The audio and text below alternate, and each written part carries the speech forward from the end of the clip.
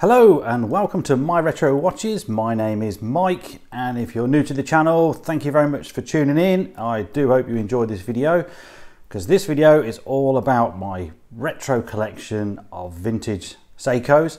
For those who know me, know I've got a bit of a thing for Seiko and it's pretty evident from what you can see in front of you because this is the bulk of my um, automatic um, collection. I've still got quite a few digitals and I've still got quite a few automatics as well that I haven't actually restored yet. So uh, as you can see, I think I've got a bit of a problem uh, and I want to go through a load of these. It's going to be um, probably a two-part video because there's so many and I want to show you them all. Uh, and what I intend to do is try to uh, tell you a little bit about what I may have done to that particular watch, maybe show you a before photograph as well if I've done some casework or, or, or something to enhance the, the look of the watch um, and then sort of tell you which movement might be in or the reference in case you wanted to try and find one yourself. And sort of just slowly but surely work through the case and maybe some wrist shots as well who knows. I'm going to try and do this all in pretty much one take uh, because uh, it's going to take me ages otherwise of editing. Um, so let's start with where it all started. And where it all started is with this particular watch here and this probably started most of not just the collection but my uh, desire to try and fix watches and try and restore the cases and things. Uh, I have a, an abrasives background. It's a, it's a, business that I'm in currently so I kind of know what's required to uh, clean um, stainless steel. And this particular watch which is a 6119 uh, movement uh, the reference that I can't quite see is uh, a 5431.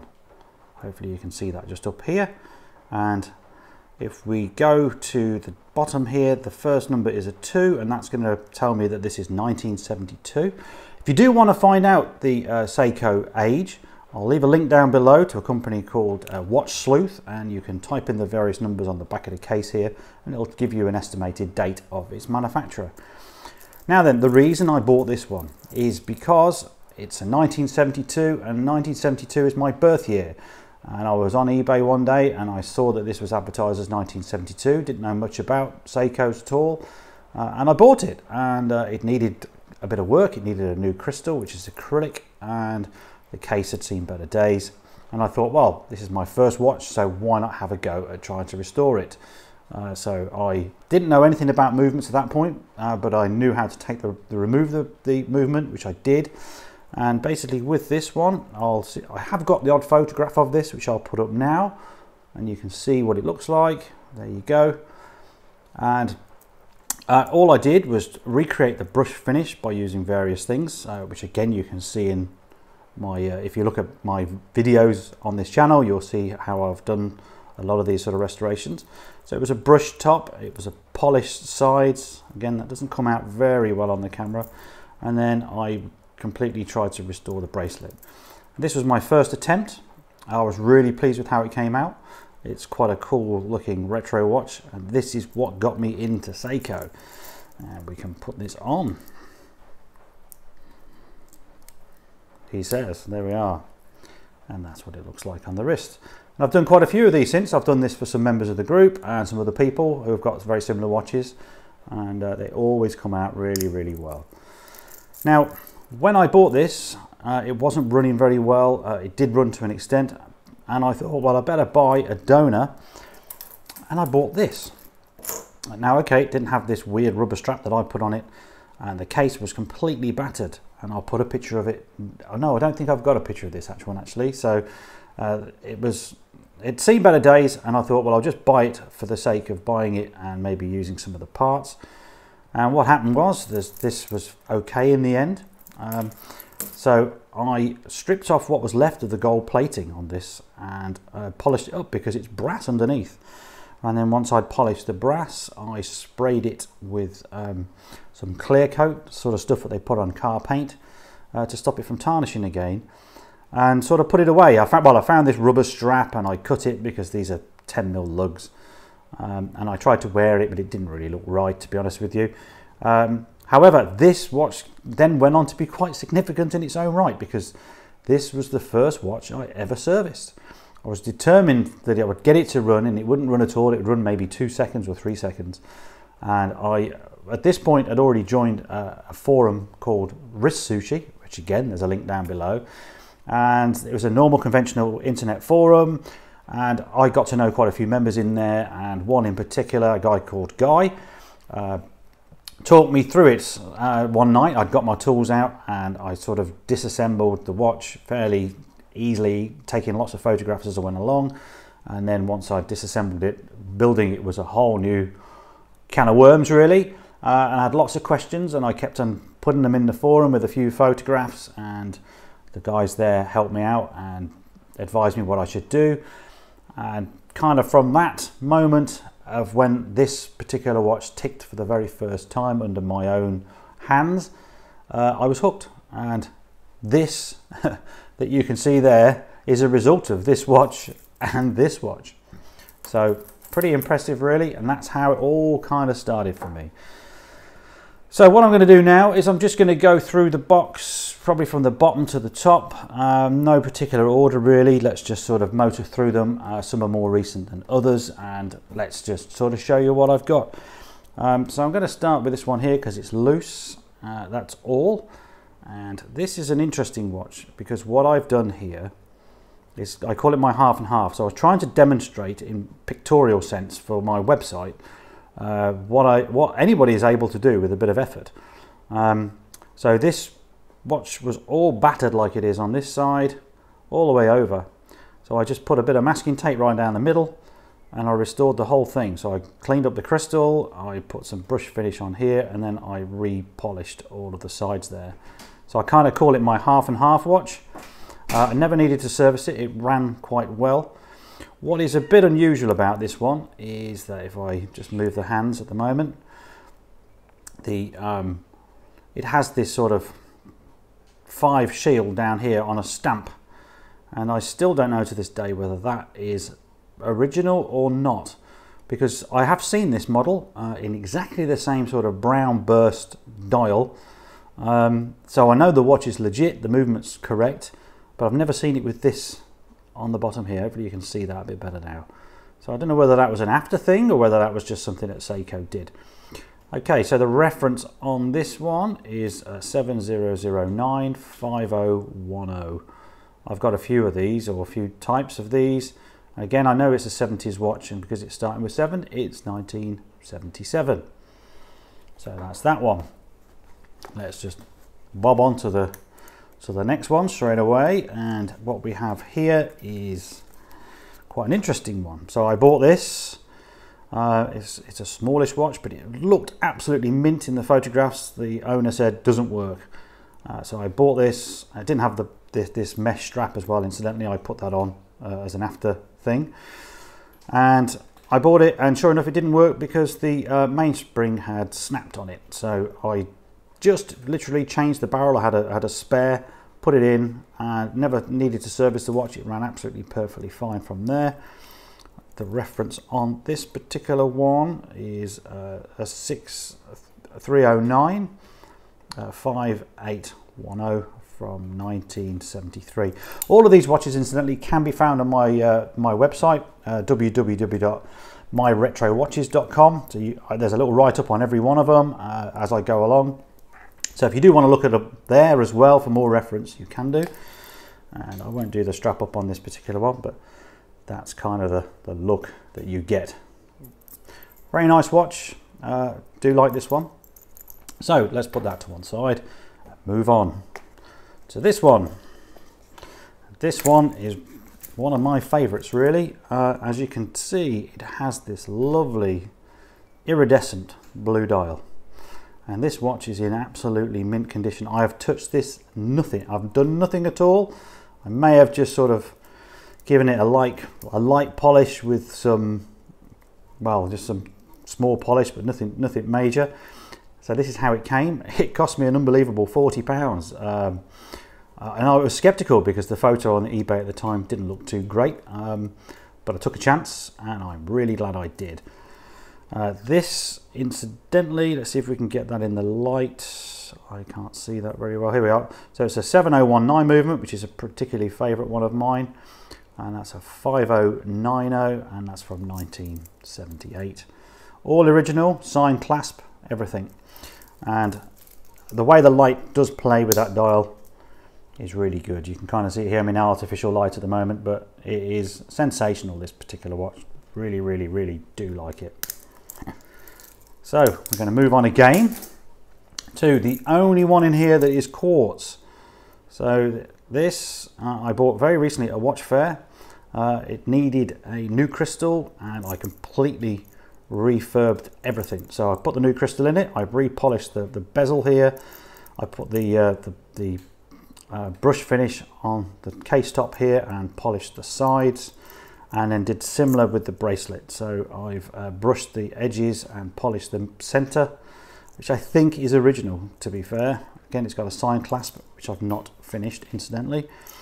Uh, but I kind of liked it because it's got an interesting blue dial, a bit iridescent again, and I can't get it in the right light, but it's got a bit of sort of texture to it. So you can kind of see it there, some sort of vertical lines. Uh, so it's pretty cool, this watch. I don't know much more about it than that. Um, I think it cost me £10, so I couldn't, I couldn't resist it for that price. Uh, the crystal, incidentally, was, was minimal. I think it was like £2 for a new crystal. Uh, the reference, have we got a reference that we can see on camera? Um, it's down there, isn't it? So what does that say? That 43... 4336? Well, hopefully you guys may have seen it. Uh, it is on the website again. I want to rattle through these because obviously there's quite a lot. So moving on. I'll actually take this one because I bought this at the same watch fair. Really nice one, this one. Uh, it has a sort of a matte dark blue greyish dial to it. Uh, polished indices with little black markers inside to match the, the black lines in the hands here. Uh, delightful little watch. Uh, all this needed was a new uh, balance. The hairspring on it was completely tangled uh, beyond repair and I had a spare so I put the, the spare in and it runs fine. At this moment in time, I've not restored any part of this case. It's also not on its original bracelet either. This, this came with it, but it's not the original. Uh, really do like it, and it's quite an old one, this one. So we have, where are we? So it's a 7005. 7005, incidentally, is just a, a date only, not day date.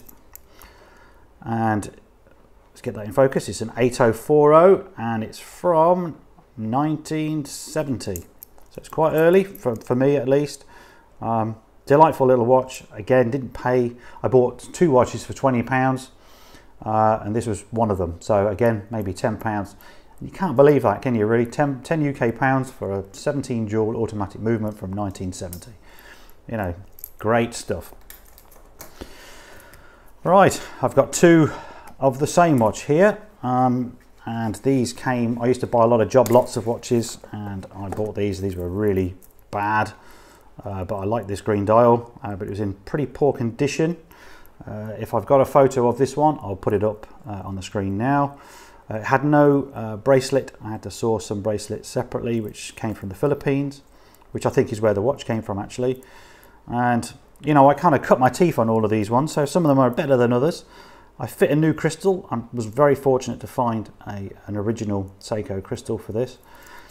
Uh, and then I've refinished the sides and the, the edges here. It was very challenging because not only are these uh, sort of a hexagonal shape, but the sides are actually sloped as well. So to try and keep these lines, and certainly these bottom lines here, without trying to over polish, uh, was very, very, very challenging indeed. Some of the marks you might see there incidentally are my fingerprints rather than anything else. Um, but a really cool watch, got my favourite Roman numerals uh, uh, day wheel there. As you can see, English and Roman numerals, I particularly like those. The reference on this one is a 6309 uh, 5650 from 90, well it says, I think it's 1971. One of these, it might be this one or this one, I can't remember, has the wrong case back. Uh, so uh, I might be telling you some erroneous information. Uh, this one was a bit more fun uh, in the sense that I'd already got the watch and then I found another donor that I needed to put this little blue border in. Uh, similar thing, new crystal, polished it up again. Once again, if I've got a photo of this one, I'll put it up now. If I haven't, it's not in the video. Um, pretty much the same as the, the other watch. And again, I've got a, these are original bracelets. It hasn't got the right clasp on this one, but I do buy job lots. There's a guy in the Philippines who sells Seiko bracelets by I think you buy six for twenty dollars delivered, and it's a bit of potluck on what sort of condition they're in. Um, so let's just see what this one says on the back. A lot of these, incidentally, I polished the back up as well a little bit just to give it a bit of shine. And where are we? So this is a 6319, which means it's the higher jeweled movement, and it's a a 6020. So I think actually this one is more accurate in its case back than the other one off the top of my head. Um, the website might tell me a bit more than that. Okay, so there's that one. Moving on, one of my personal favourites. Um, this got a bit of a story to it. I think this was probably my second Seiko to buy. It wasn't on this bracelet, it was on like a weird mesh thing. Uh, it was absolutely awful. So I'll put some photos up now because inside was full of DNA. It was gross to be honest with you, but I cleaned it up nevertheless. And then I've polished the sides and replicated this sort of ground finish on the top. It's the acrylic crystal, so it's quite easy to restore the acrylic crystal. Sourcing the bracelet, trying to find this original bracelet, which has got these sort of nice angles on them. Took me ages, but I found a guy in Serbia who uh, has some bits and pieces, and I emailed him, and he was more than obliging to sell me the original bracelet, which was great, and uh, that sort of completed this particular watch, of which I've had this for maybe two years, and I only serviced it a, few months back actually. Um, I love this sort of two-tone dial that it has. Quite a few Seikos have this, and you'll see them in this in this collection here now. Um, so the movement I know is a 6119 and the model on this is a 5520 and this is from 1975. But a really, really nice watch, wears really well in my opinion. Um, I just like the way it's, it's kind of like symmetrical, it's all nice, the same size bracelet. And again, the light plays with that dial all the time. So really, really, really nice, very special watch to me, that one one I'll never be letting going. Uh, we'll pick this one as the next one at random. Uh, another watch fair find. I think it's uh, yeah. I did I didn't service this one. It needed some parts, but I can't remember off the top of my head what parts it was needed. I haven't polished the case. Haven't done anything other than put it on the the uh, strap that I've got here. Uh, very nice, uh, very sort of clean grey black dial that does have a little bit of uh, texture to it, although you can't see it in this light. I'm trying to show you there. Uh, again, this was another £10 fine. Couldn't believe it. Uh, it. The guy, well, it wasn't running, and I got it home and took it off, uh, took, took the back off, and there was a few parts missing, and that's why it wasn't running. And typical fashion, I've got uh, spare parts, put the spare parts in, fired up first time quite a nice looking watch. I've got a few of this type of shape and that's sort of how it looks on the wrist. Um, but overall this is in remarkably good condition and the uh, movement on this one is a 7025 uh, 5000 from 1976. There we are. Now then, on to another personal favourite and one I've done a whole series of videos on this particular, well it wasn't this particular watch, it was somebody else's, but exactly the same one. This is a Seiko DX and DX means that it's a 6106 movement and that also means that it's got hacking. So it's got a little lever in there to, to hack the uh, second hand to stop so you can set it a bit more accurately. Absolutely beautiful blue dial, uh, really iridescent again. Uh, the hands are in really good condition. There's, there's no rot on this at all, but it was in a really, really sorry state when I got it. And I'll put a photo up now of what it looked like.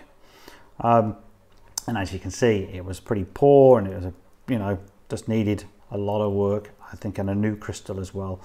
Um, but I cleaned it all up. I've given it a service. I re-polished the sides and brushed the top because this is the same case as the, the first watch I ever did.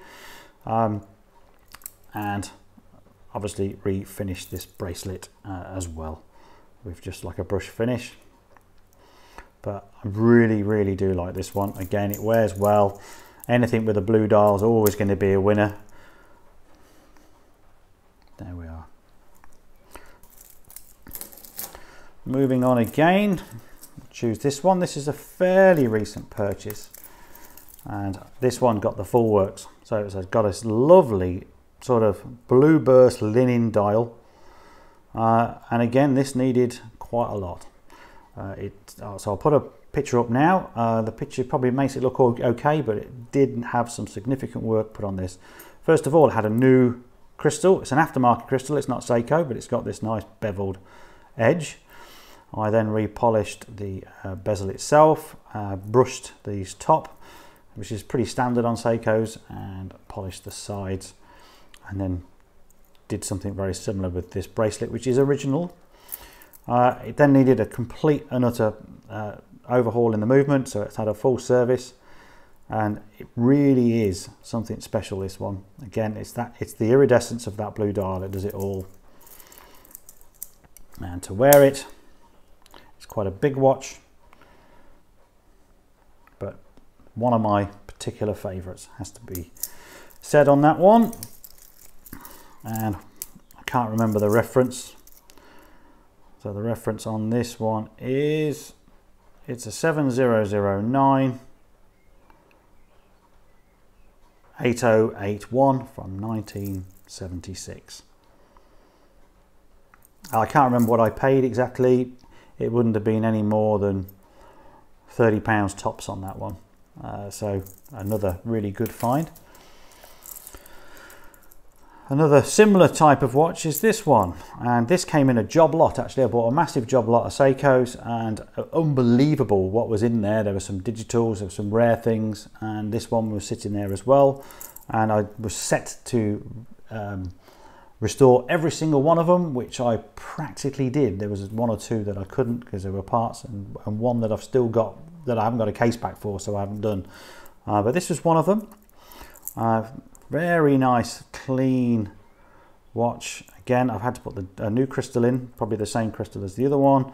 Uh, done the polishing of the bezel and the side and I don't think I touched the bracelet on this one particularly uh, but again it had a full service because it needed the full service to get it going. It's quite a classy dress watch. As you can see the hands there are absolutely perfect. Uh, it's not as old. Uh, I can't quite remember. I think this is 87 from memory. Uh, somebody might be able to correct me. So the, the model itself is a 7009 3040 possibly from 87. But again, very nice. That's what it looks like on the wrist. So I have got quite a lot more to do uh, and we'll be ending part one fairly soon. So we'll do a few more uh, and we'll do this one because this is another good favorite of mine. Uh, this needed absolutely everything doing to it. It didn't even have the bracelet. It took me quite a while to find one that was original and would fit. I had to utilize the guys in the group and all my contacts to, to look and search through the world as it would seem to find uh, something that was going to be good enough. And we've got kind of like a, a dark blue burst iridescent um, color to this one. Really nice raised indices um, and it had, again, a new crystal. As you can see, I think this one actually was an original crystal, come to think of it. Uh, a new uh, polished bezel, sorry, and brushed and polished on the sides.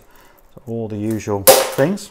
As one watch has decided to just fall on the floor, which is disastrous.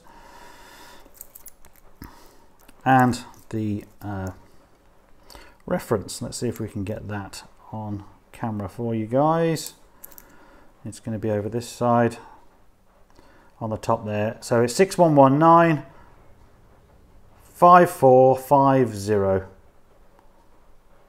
and that's from 1972 so another birth watch for me on that one. Okay let's do a few more. Uh, we're on 25 minutes according to my uh, thing here. So let's make it up to 30 minutes a full half an hour on these. This is an absolute gem of a or the most retro one you can probably get. Uh, it's quite a high model and this came in the job lot that I bought. Uh, so this is a Seiko Actus SS and it's the 25 jewel uh, version which is I think the highest jewel count they did on these uh, 6106 movements. So it's kind of like high mid-range and it's got this faceted crystal which hopefully you can kind of see there I've been unable to find a replacement for this one yet uh, and it's also got the the Japanese um, day wheel there as well the dial has got some quite interesting iridescence with some texture as well. So it looks like squares. Trying to get that in the right light for you. Perhaps you can see it there. So it's got a lot going on. It's a very, very busy watch. And then it's got this really mad bonkers uh, bracelet, all original. And all I've done with this one is I've given it a good service and a pretty light polish really. Um, I didn't want to go over the top because there's lots of angles as you can see and these are going to be really really tricky to do but I gave it a light polishing over just to bring it back up again. Definitely one of my favorites and I'll put that on so you can see what that one looks like. There we are Incidentally, if you can hear some tapping in the background, it's just raining. It's typical in England for summer. It's pouring with rain right now, uh, once again and that might be coming through on the microphone. Let's choose this one next. This has got a beautiful iridescent dial and the light in here doesn't do this justice. It really is quite something special. And this was a massive project. It was a real beaten up thing. As you can see, the dial's got some damage on there as well. Um, but I wanted to see if I could I could do it. It needed some donor parts, which took ages to find. Um, but, and I polished the case. The, the case was appalling, absolutely appalling on this. So it is slightly rounded, so not one of my best works, but then you've got to learn by practice, haven't you? But I resurrected this from, from sheer death. So uh, it's still a really poignant watch for me. Hopefully I've got some photos which I can put up for you now. And I've then found a bracelet, a Seiko bracelet to go on uh, because it didn't actually have one on it. Uh, but again, you know, because it's the Actus and it's the SS, it's a high jewel one, it's a 23 jewel. So it's, it's you know, again, a better model, if you like, a more higher up model. So the reference on this, if we can see it, because it's getting trickier and trickier with the bracelets in the way. I know it's a 6106,